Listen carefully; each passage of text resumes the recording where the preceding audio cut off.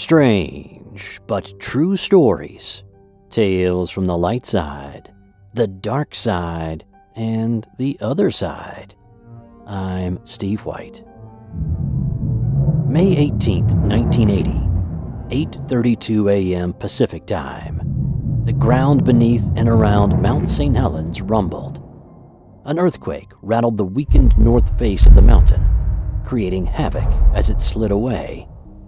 Moments later, the mountain exploded as molten rock and explosive gases blew upward. The result was the largest landslide ever recorded and devastation that had not been seen in a long time.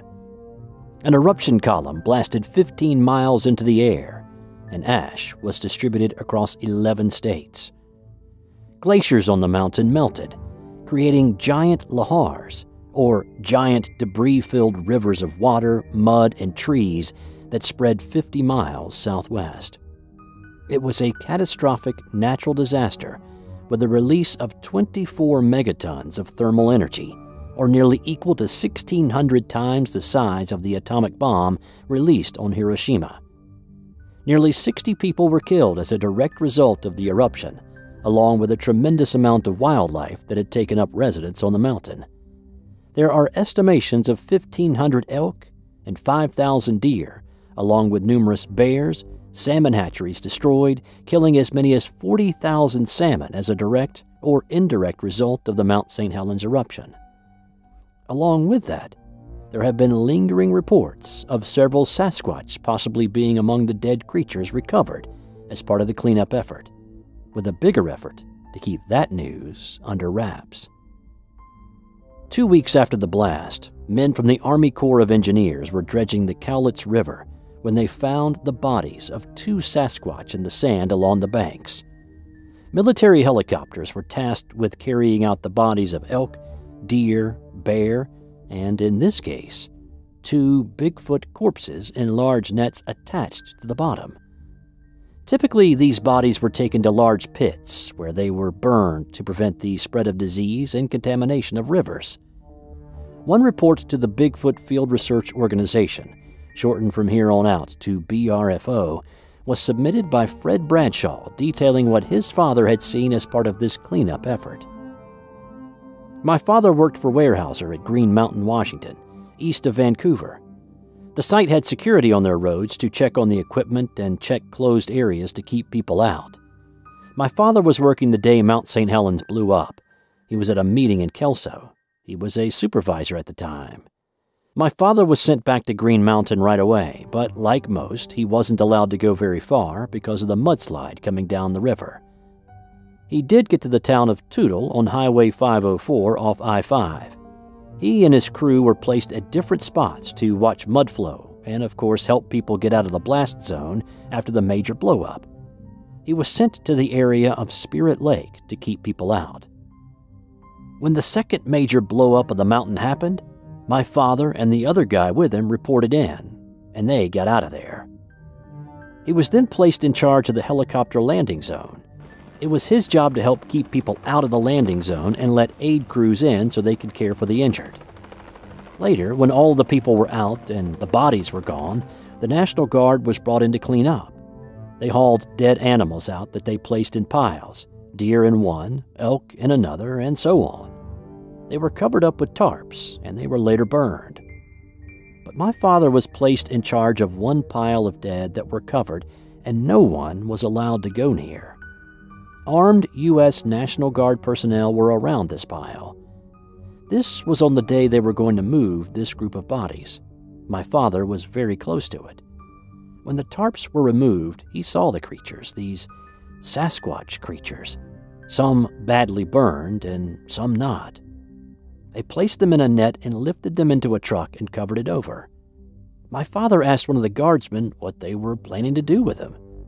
The guy shrugged and said, Study them, I suppose, or whatever.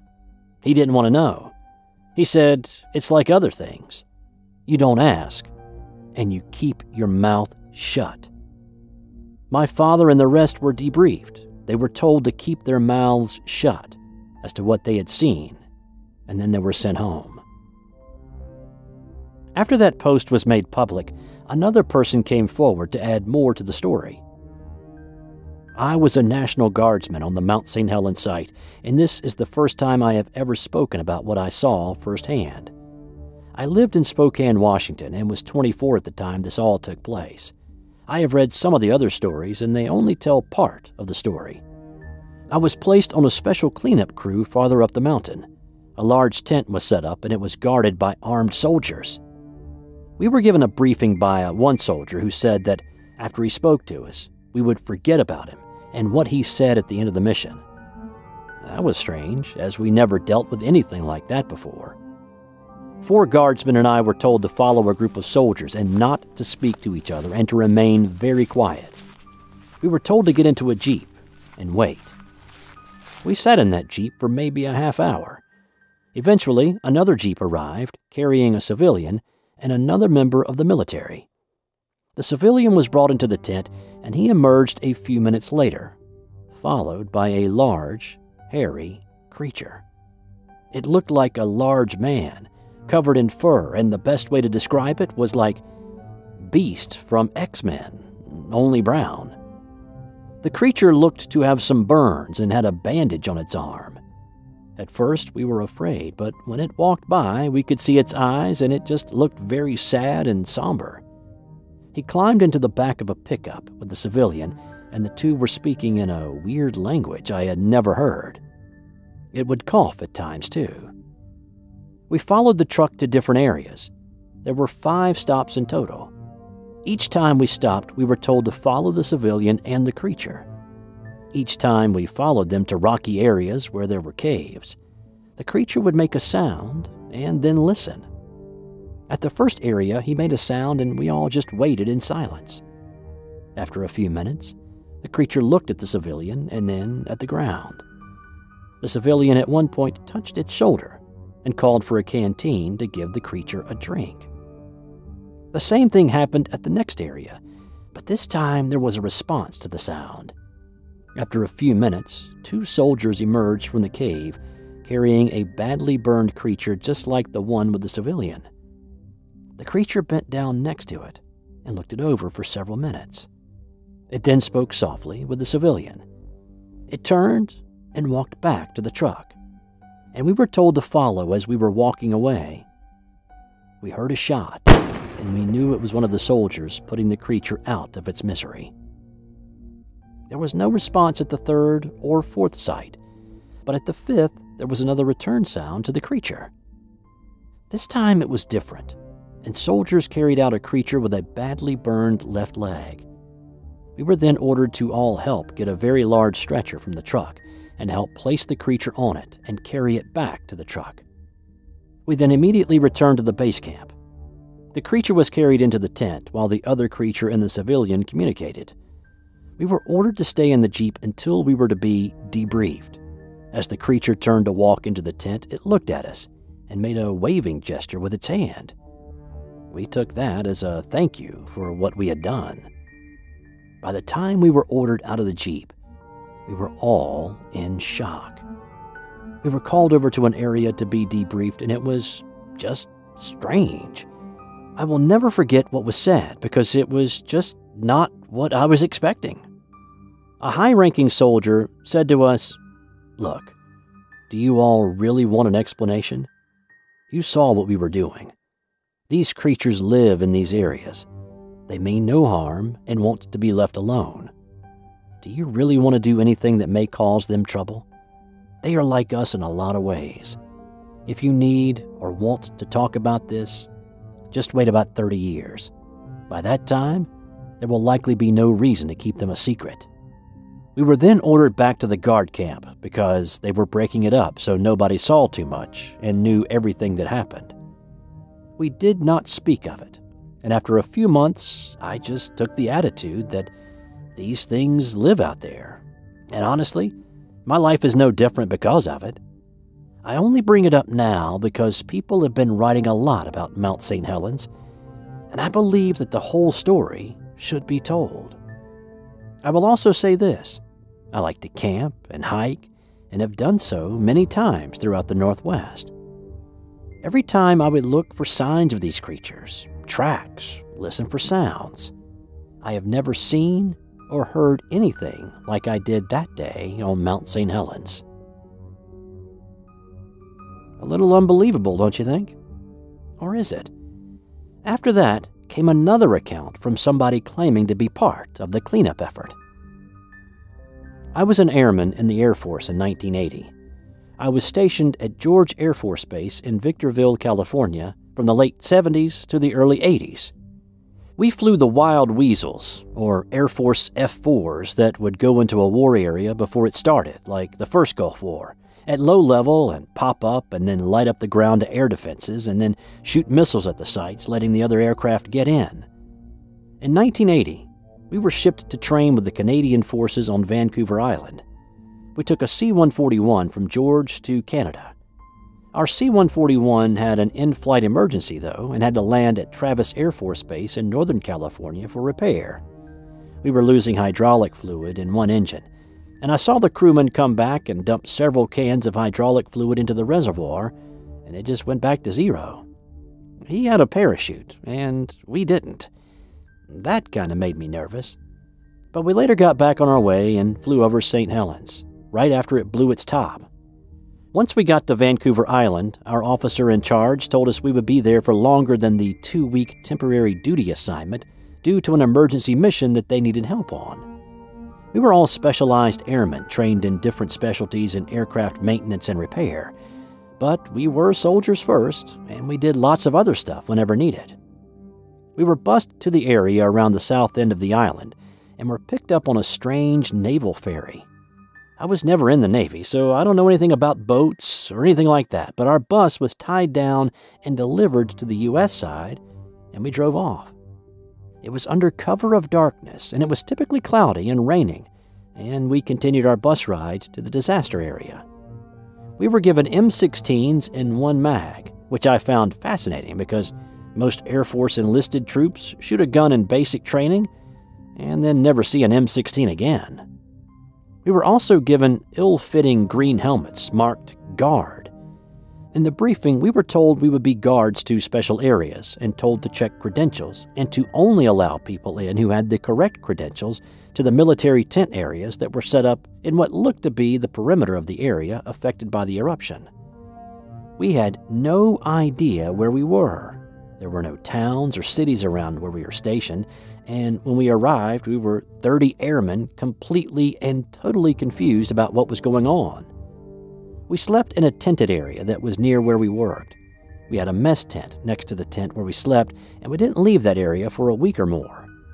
We were guarding areas that people moved into and out of with what looked like victims. The tents we guarded had a foyer area, and we couldn't see what was behind the second door.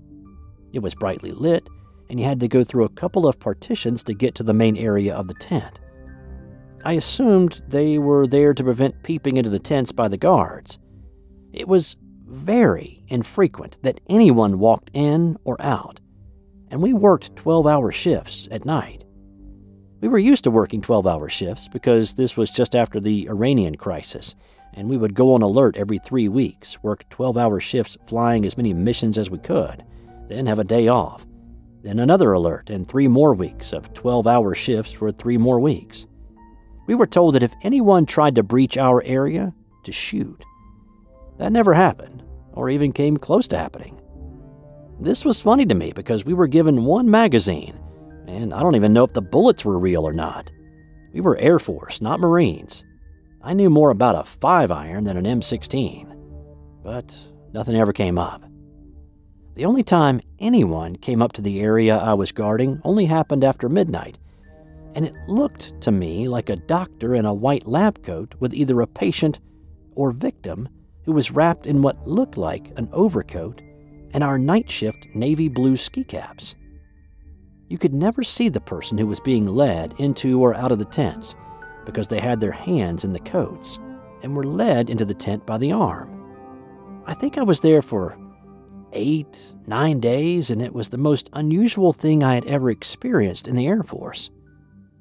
One night when I was on guard duty, I noticed two of these people that were being escorted were very tall. Uh, unusually tall.